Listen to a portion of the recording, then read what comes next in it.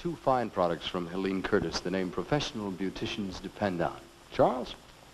This portion of American Bandstand, Dick, is brought to you by Certs the Breath Mint, Certs the Candy Mint, two mints in one Certs.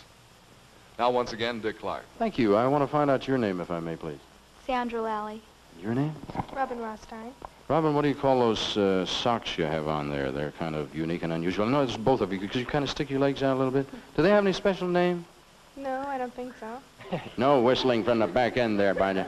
No, you notice the one thing I noticed was all of the English girls that came over here originally had them. I suppose that's what started the fad and what have you.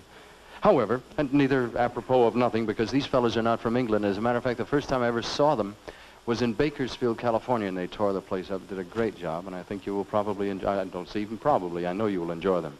Ladies and gentlemen, guest time now on American Bandstand. Let's greet the Spats.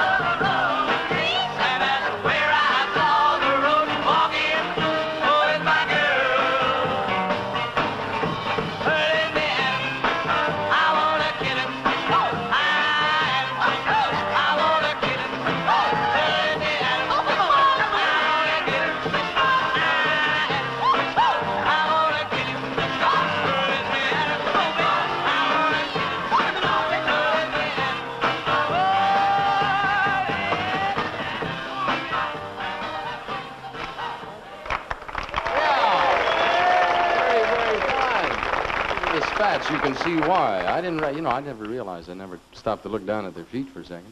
Would you ever wear spats? Do girls wear spats? No, I don't think so. I don't think I've ever seen a girl with spats. I don't know. Styles change, though.